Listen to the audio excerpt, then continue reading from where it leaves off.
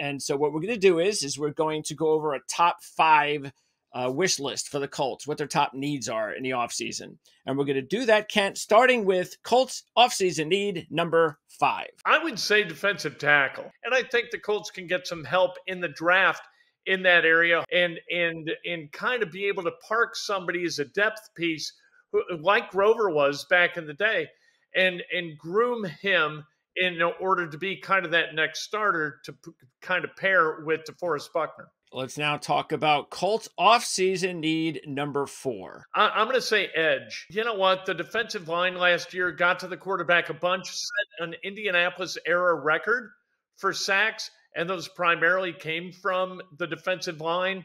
But it, you look at Kwity Paye entering year four.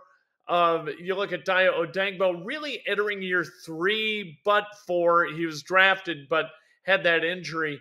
And do those guys get to the quarterback as much as they ought to?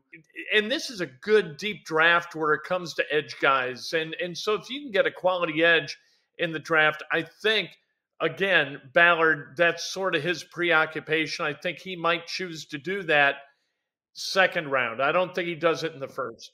All right, next up, offseason need number three. Number three, I'm gonna say I'm gonna just make it a little bit more broad and say receiver. You need a wide receiver, or you need Brock Bowers at tight end. If you can get Bowers at 15, you take Bowers at 15. Other than that, I'd really like to see the Colts go after their primary needs, which we'll get to uh, via free agency. But at the at the receiver position, there's a really good chance that somebody who could wind up being an elite level guy drops to 15, whether it's Bowers or, or whether it's Brian Thomas or Rome Odunze.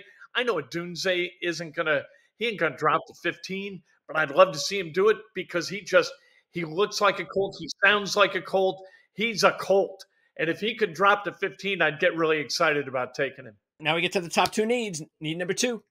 You got to have safeties, plural. You know, Julian Blackmon's a free agent.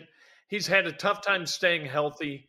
And and so I think that maybe the Colts move off of Julian Blackmon. I think he's going to generate some interest because he's a really he's really a pretty productive box safety. He's not bad at it, but that secondary is kind of broken.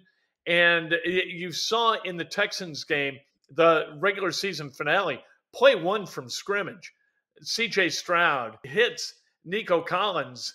Nico the, the Texans draw something up that gets Nick Cross, who is playing free, get him to bite, and Nico Collins is gone for 75 and a touchdown. You got to have a free safety you can trust to make the right decision, or at least trust to make the wrong decision, but not give up a 70. If, if you're going to make the wrong decision, you got to be, you got to keep everybody in front of you, right? And Nick Cross has shown himself to be a guy who can't be trusted to do that in the most recent game that the Colts played. I think that sticks with Ballard. I think it sticks with Gus Bradley and Shane Steichen. I think they move off of Cross. And and at the safety position, you can always get guys.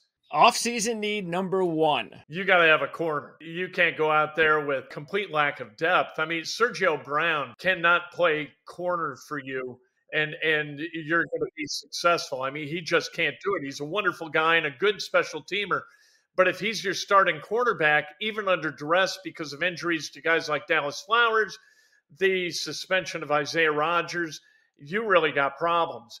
Juju Brents on one side, I'm good with. The other side, you know, going with with what the the Colts tried to. I think Jones was out there, a nice guy, big heart, but not big speed. And you need speed because if you're going to make mistakes and everybody makes mistakes at the corner at outside corner you're you're going to make mistakes and it's your speed that allows you to make up for that and and the Colts just don't have it. So the number one need I got right now is is corner followed by safety. I think you need to replate and you got to re-sign Kenny Moore as a slot corner but you've got an outside corner that's a glaring weakness and you got two safeties you got to go get